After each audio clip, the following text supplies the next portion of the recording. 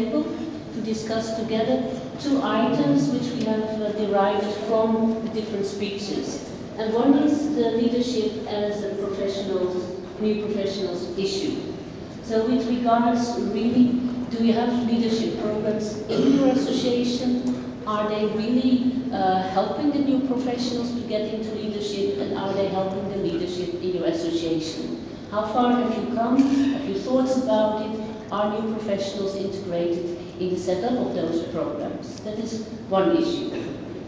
And the other issue is where we have tried to find a title to describe what is going on in the library field, uh, namely that there are no longer only librarians or information professionals working in our organizations, but also marketeers, uh, IT persons, public relations persons, uh, all kinds of other professionals, but also the ethics of that other profession, with the aims and uh, values of those other professions.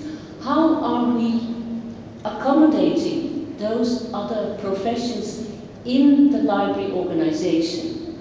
So what we see is a flow of professions. The profession of the librarian is transforming. We are transforming our organizations by accessing and facilitating other professions to work in our library field.